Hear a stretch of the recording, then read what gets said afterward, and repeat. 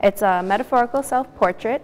Um, this is a cast of my actual hand, um, a plaster cast, um, real birch bark. East High School Fine Arts Institute students like Elizabeth Grunwald are peeling back layers of their personality and digging deep with their art. And the flowers um, inside stand for um, inner beauty. She's part of the inaugural class of visual art students in the Fine Arts Institute.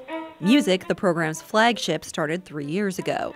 Students take advanced instruction and complete portfolios of their work each semester. I also took Design 1, and I'm in Mr. Dix's new class, um, Design and Mixed Media. And then I'm going to keep using this ruler as a tool just to give me a set kind of even distance. There's a lot of people out there that have a lot of creative juices in them that it's like they need a place to get that out. Just like their fellow students in the intensive music program here at East, these visual artists say what they're doing here in this art room transfers into the other classrooms as well, keeping them engaged. This is like where I like to be. So, and I know I'm good at it and I can challenge myself. It's just a really good um, experience to have before you go off and start your own way. Instructor Mark Dix encourages his students to be an artist in all things. Taking that artistic sense with you as well as business knowledge, I think is kind of the recipe for success in that realm.